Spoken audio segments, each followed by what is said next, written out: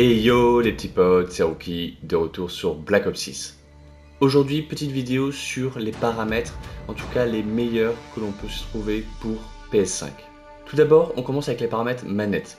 Dans les paramètres manette, moi je préfère jouer euh, sur ma PS5 avec la configuration tactique qui me permet en fait de euh, glisser, plonger avec le joystick droit plutôt que la touche rond.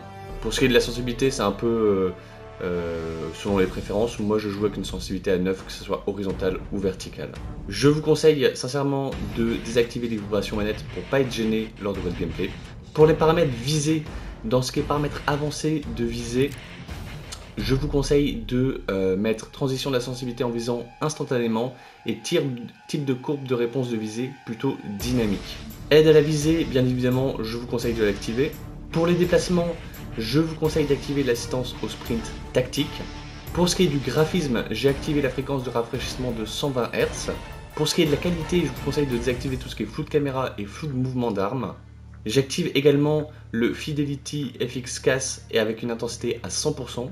Pour ce qui est des paramètres vus et notamment du champ de vision, la FOV, moi je vous conseille de la mettre à 103. C'est celle qui sur PS5 pour moi est optimale et surtout l'AM Assist est le plus fort entre 103 et 105. Pour ce qui est de l'audio, voici comment j'ai euh, réglé euh, mes paramètres avec un volume général à 100, des volumes de musique de jeu à 0, pareil pour ce qui est des volumes de, musique des cinématiques pour pas être gêné.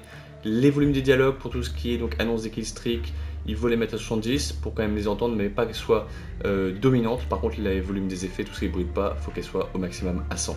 Pour le mixage audio, moi j'ai mis le booster de basse casque. Enfin, pour ce qui est de l'ATH de jeu, je vous conseille de mettre la forme la mini-carte en carré pour qu'elle soit forcément plus grande. Voilà, j'espère que cela vous aura aidé et surtout, n'hésitez pas à me dire en commentaire si j'en ai oublié des particuliers. Et sur ce, je vous dis à la prochaine. Ciao, ciao tout le monde.